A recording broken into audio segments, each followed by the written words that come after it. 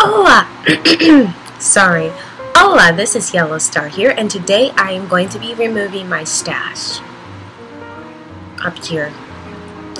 And I'm just saying it outright because I'm not going to be in denial. There's a bunch of you who are lighter skinned, whether it's like Hispanic, whether you're really tan, and you have dark hair.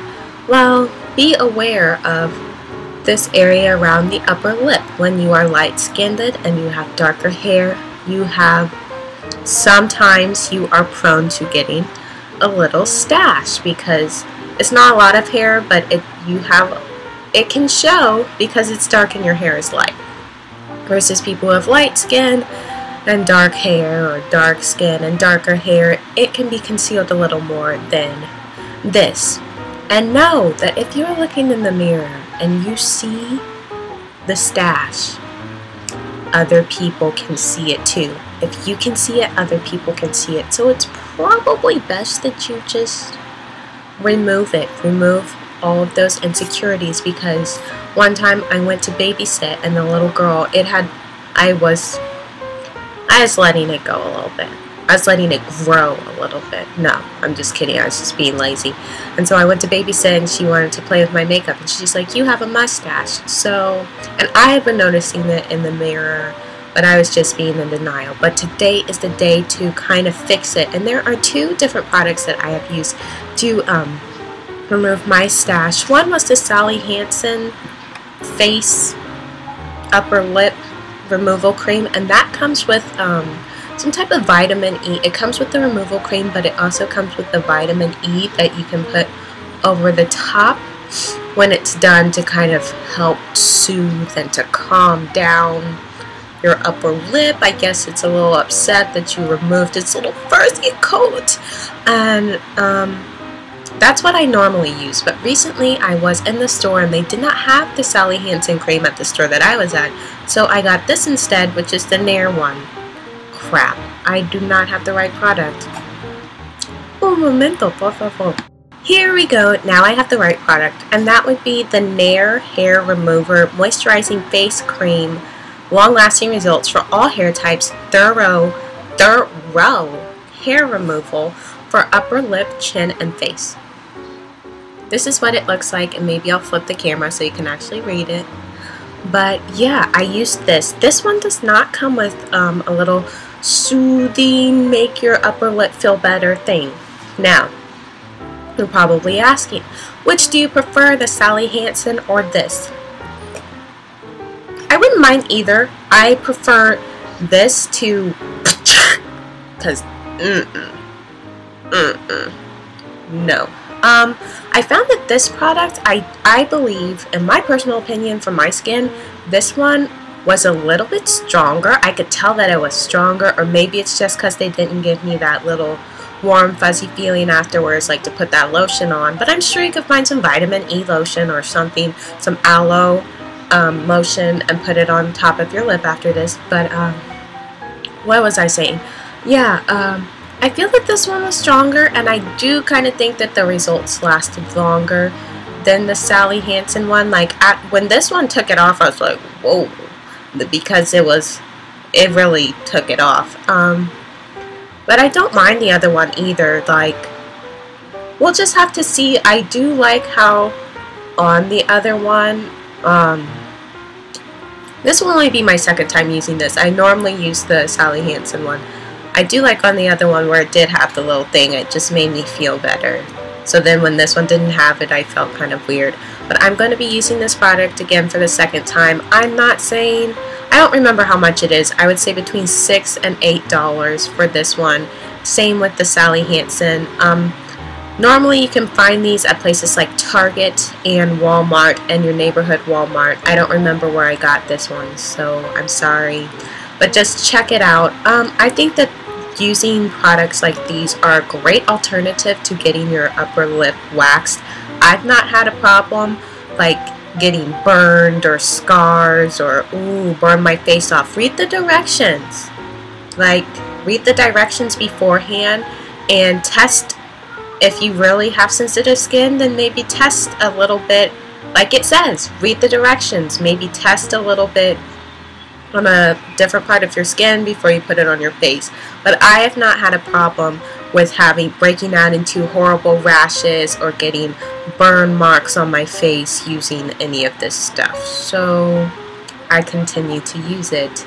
And I would recommend giving it a try, at least trying it once. It's way less painful than waxing and it's cheaper because this bottle will last you. Normally the results last for like two to four weeks. It just depends on your hair growth.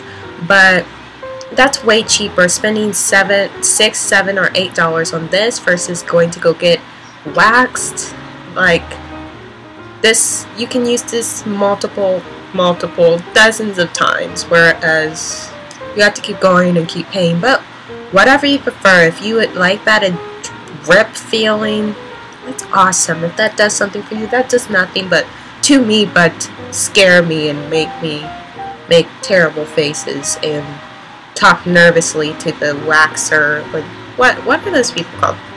Anyway, so I'm actually going to use this product. Now I'm going to go look at my mirror and put this on top of my mustache and you can actually do the process with me. Okay, it's been a while since I've done this, so I do have kind of a stash, but I like to point it. Oh, it's pink! You probably can't see very well, but it's a very light pink anyway. So I'm going to put it put it on. Okay, so it's on my face as you can see, and um, I put it on a little sloppy. I don't think it has to be perfect. Sorry I'm favoring like this side of the camera, but that's because the light, I'm, I set my laptop on top of a chair, and if I'm in the middle, it blocks the lamp that I have, so I'm kind of staying in the light, but I'll read the directions. Oops. Anyway, you were supposed to um, remove all makeup. My bad. Spread a thick to even layer to cover hair. Do not rub in. Wash your hands immediately after application. Leave the cream on for 5 minutes. I feel like a hypocrite because I was like, oh, read the directions, read the directions.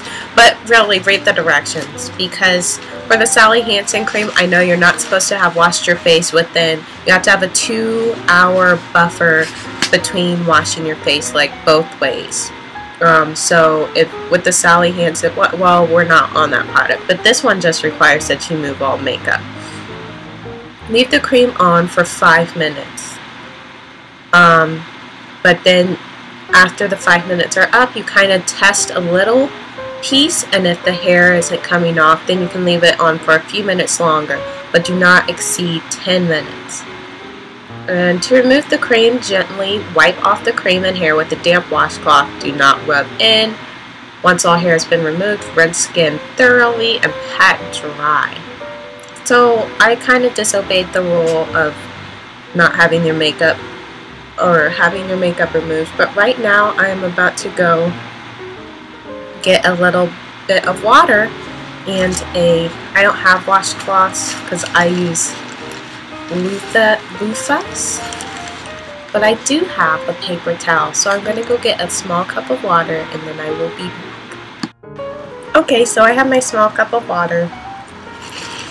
And then I guess I'm supposed to rinse thoroughly. But what does that mean? They didn't imply with soap or... Oh! That was a little vague.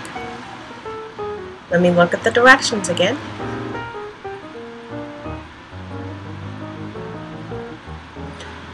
Rinse skin thoroughly with lukewarm water. So looks like I'll be running to the bathroom since I'm gonna if I'm gonna talk about follow directions, follow directions, I should probably follow directions. Okay, so now I'm just chilling like a villain for reallin' because I got a stillin'. That was supposed to represent mustache. A stillin'. A Stalin? I think Stalin had a mustache. Don't listen to me.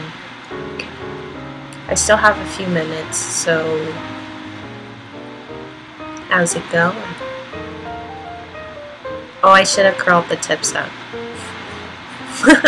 but I didn't. Anyway. Okay, so it's close. It is close enough, so I'm gonna start removing this. And I'm going to turn to this camera. Don't mind my hair looking like a hot mess.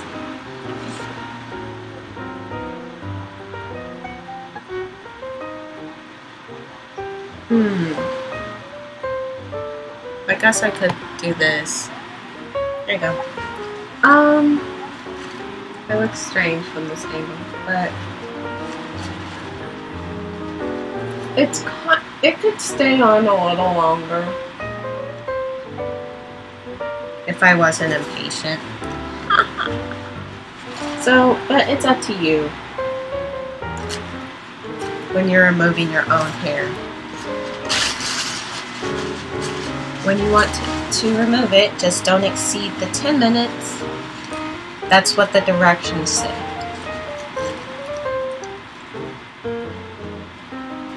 It says don't rub it in, but I don't know how else to get this off. Except for rubbing on top of it. Or remove it. Well, I guess I could say I'm not rubbing, I'm wiping. Like over in the corner, it's still stuck.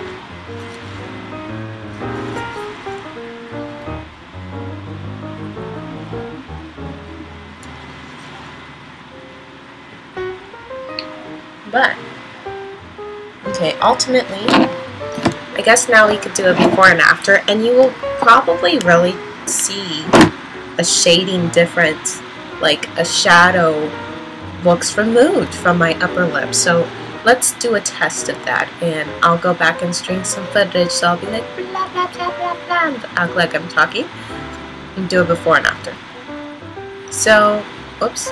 So do you see a shadow difference? Maybe maybe not. But I'm gonna go rinse my face off and that is my Sally Hansen or no Nair hair removal moisturizing face cream. Alright bye